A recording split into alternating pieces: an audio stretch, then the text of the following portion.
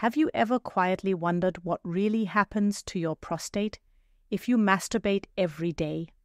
I understand it's not exactly a dinner table topic, and not even something most men feel comfortable bringing up with their doctor. It's one of those subjects that often carries a sense of embarrassment, even shame, and because of that, it gets ignored. But in my nearly three decades of working with men in their 50s, 60s, and beyond, I can tell you this prostate health shouldn't be a mystery, and it should never be taboo. It's a real part of being a man, and you deserve to have honest, science backed information that empowers you to take charge of your health. Today, I'm going to talk to you not as a doctor behind a desk, but as someone who understands the private worries many men carry. One of the most common questions I hear is Doctor, should I be worried if I masturbate every day? And I get why that question lingers. There's so much information floating around forums, articles, videos, and not all of it is accurate. Some men have even heard things like frequent masturbation causes weakness, infertility, or even prostate cancer. That creates fear, guilt, and confusion. So let's get to the truth. The answer isn't a simple yes or no, but thankfully we now have solid science that helps us understand what's really going on. One standout study published in European Urology followed thousands of men for nearly two decades. What did they find? Men who ejaculated around 21 times per month, whether through sex or masturbation, had a significantly lower risk of developing prostate cancer than those who only ejaculated four to seven times a month. Why the most accepted theory is called the prostate cleansing hypothesis. Think of it like this regular ejaculation helps clear out old cells and inflammatory substances that may otherwise accumulate in the prostate. It's like flushing out a pipe regularly to prevent buildup.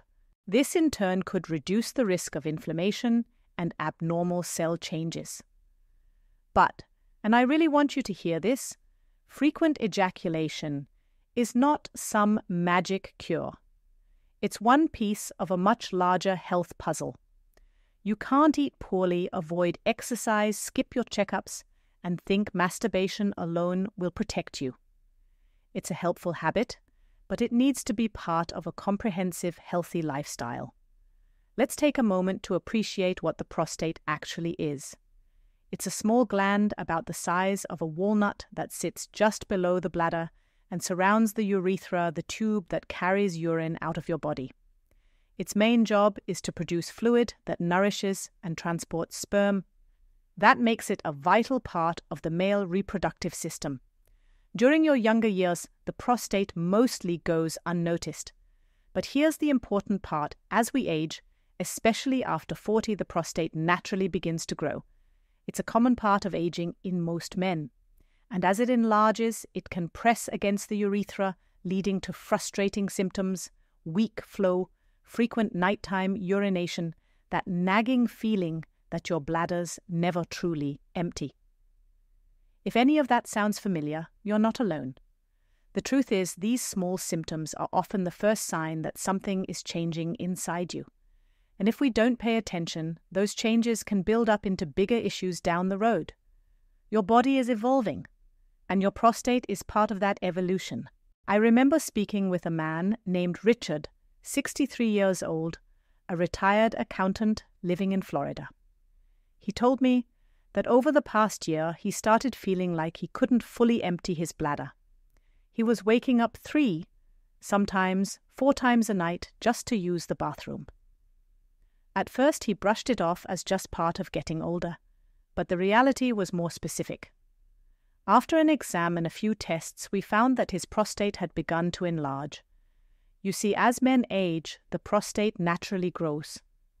It's a condition known as benign prostatic hyperplasia, or BPH. It's not cancerous, but it causes a lot of discomfort. When the prostate enlarges, it puts pressure on the urethra, that small tube that carries urine out of the bladder. This is exactly what leads to those symptoms Richard was facing. But the story doesn't end there. When the prostate grows, it also struggles to release the fluids it produces. This buildup can cause feelings of heaviness, discomfort, and sometimes lead to low grade chronic inflammation. If you've experienced that persistent pressure or ache down there, you know how much it can affect your mood, your confidence, even your day to day joy. On top of all that, there's the hormonal shift that comes with aging. Testosterone, your body's primary male hormone, naturally starts to decline. That's expected. But here's the twist part of that testosterone gets converted into a more powerful hormone called DHT, dihydrotestosterone. And DHT has been shown to stimulate prostate cells to multiply more aggressively. It's like pouring fuel on a fire. That's one of the key reasons so many men develop prostate issues, even if they've never had a family history of it. And this combination aging fluid retention hormonal imbalance leads to something else even more serious a heightened risk for abnormal cell growth. Your body replaces old cells every single day, and after decades of those cell divisions, the chances of small errors occurring errors that could eventually turn into cancer start to rise. This is biology, this is reality, and this is exactly why ignoring the signs is never the right approach. So, yes, regular ejaculation might play a role in flushing out harmful substances, but again, it's just one piece of a much larger lifestyle equation. Health isn't about one single action, it's about a constellation of habits and choices you make over time. I also want to share something that sparked quite a bit of attention in the medical community lately, an idea coming out of Japan that's causing both excitement and debate. Some researchers there have introduced a new concept latent prostate blockages. They believe that over the years, the accumulation of dead cells and toxins can form dense, sticky clumps inside the prostate, impeding blood flow and worsening urinary symptoms. These scientists suggest that this buildup is the real reason millions of men suffer in silence. What's even more fascinating is that they're exploring a gentle solution involving natural mineral spring water with detoxifying properties. According to their research, this treatment could potentially dissolve those internal blockages in just a few days, leading to better flow, reduced pressure, and even shrinking of the prostate. Now, I'm a physician. I'm not in the business of miracle cures. I approach every claim with healthy skepticism but I also believe in staying open to well designed, evidence backed innovations, especially when they come from respected research centers. Because when you understand your body, you gain power over your health. You shift from being reactive to being proactive. And that's what I want most for you. Not just to avoid illness, but to live fully, to sleep through the night without interruption, to wake up feeling steady, strong, and in control of your body, to keep your intimacy, your independence, and your inner peace. That's why I always guide my patients toward a broader vision, one where prostate health isn't treated like a ticking time bomb or a shameful secret, but a normal part of long term self care. You are not powerless. You are not past your prime. You are simply entering a new chapter and the choices you make now can shape the rest of the story. One of the first things my medical mentor ever told me was this health is made up of small choices repeated every day. And when it comes to your prostate, that couldn't be more true. You don't need to overhaul your life overnight, and you don't need expensive treatments to protect yourself. What you do need is a plan, a practical one that fits into your life and honors your goals as a man who wants to feel good and stay strong. So, if you're wondering where to begin, here's what I tell every man who walks into my office. There are four core pillars to protecting your prostate, and you can start applying them today. First, yearly screenings. I know how uncomfortable this topic can feel. Many men hesitate to schedule checkups, especially when it involves tests like the PSA blood test or a digital rectal exam. But please don't let embarrassment cost you the opportunity for prevention. A simple test measuring your PSA level combined with a quick 15 second physical exam can be the difference between early treatment and advanced illness. And here's the truth prostate cancer, when caught early, is highly treatable. You deserve that chance. Second, anti inflammatory nutrition. Your body needs the right fuel to stay balanced and resilient. That means cutting back on red meats, fried foods, processed snacks, and excess sugars. Instead, fill your plate with vibrant vegetables, fresh fruits, whole grains, healthy fats like olive oil, avocados, and nuts.